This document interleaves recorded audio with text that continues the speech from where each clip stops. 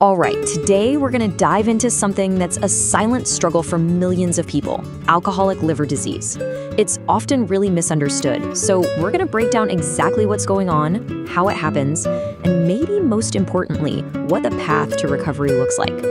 So let's just get right into it with a pretty stark fact alcoholic liver disease, or ALD, isn't some rare, obscure condition. No, it's a huge global health issue and one of the main reasons people die from liver related causes. And that's exactly why getting a handle on the mechanics behind it is so, so important. So here's our game plan for this explainer. We'll start with the liver's silent struggle and figure out who is most at risk. Then, we'll get into the actual science of how alcohol becomes a toxin in the body. After that, we'll walk through the three main stages of damage, and then explore what recovery looks like. And we'll wrap up with the single most critical factor the choice to stop drinking. Okay, so first things first. What are we actually talking about when we say alcoholic liver disease? You know, ALD isn't just one thing. It's better to think of it as a spectrum of damage, a whole range of injuries to the liver that are directly caused by drinking way too much alcohol over a long time. It's like a journey the liver is forced to take, and each step gets progressively more dangerous.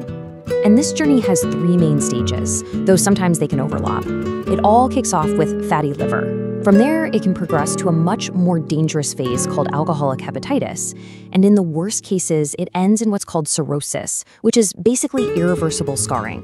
We're going to break down each of these in just a bit. So that brings up a really important question. Who's actually most vulnerable here? Because the risk isn't the same for everyone, and some of the factors might actually surprise you. And wow, when you look at the numbers here, you see a huge difference. For men, the high risk zone really starts when they're consuming over 60 to 80 grams of ethanol a day for more than a decade. But look at the numbers for women. That threshold is way lower, only 20 to 40 grams. Why? Well, it mostly comes down to differences in metabolism and body composition, which actually makes women more susceptible to liver damage from the exact same amount of alcohol. But listen, it's not just about how much you drink every day. Your own genetics play a huge part, and so do drinking patterns, like binge drinking. On top of that, other health conditions like obesity or having an infection like hepatitis B or C can act like accelerators, just pouring gasoline on the fire and dramatically speeding up the damage. It's a really complex mix of your lifestyle, your genes, and your overall health. Okay, so we've got the what and the who. But what about the how? How does alcohol, you know, a simple molecule, manage to cause so much chaos in one of the body's most important organs? Let's get into the science. So here's a peek inside your liver. As it's working hard to break down alcohol, it creates this nasty byproduct called acetaldehyde. You could think of it like a toxic sludge that just gums up the works and damages your liver cells from the inside out. And at the same time, another process gets kicked into overdrive, creating all these unstable molecules that cause even more damage through something called oxidative stress. It's really like a two-pronged attack on the liver. And all of that, it just kicks off this nasty chain reaction. The toxicity leads to inflammation, it messes up how the liver processes fat, so it starts building up inside the cells. And over time, all that constant damage just leads to permanent scarring.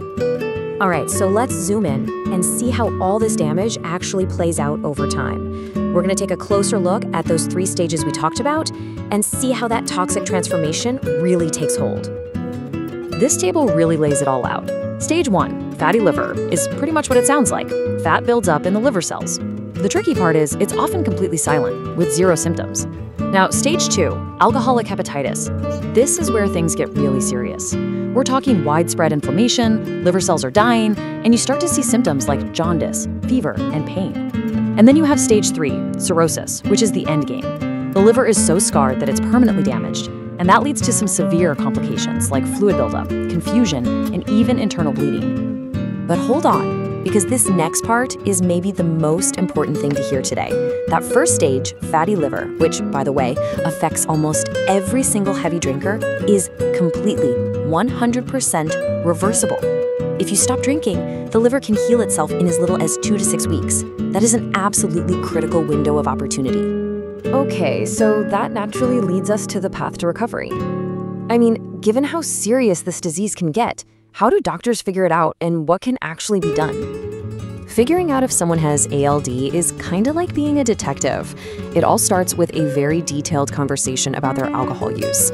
That's followed by a physical exam, blood tests. For instance, there are specific liver enzymes that get elevated in a very particular ratio that points right at alcohol as the culprit.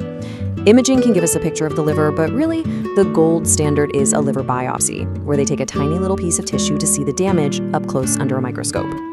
But no matter what stage we're talking about or what specific treatments are being used, there is one thing that is absolutely non-negotiable. The cornerstone, the single most powerful intervention for managing ALD is complete and lifelong abstinence from alcohol. Everything else comes second.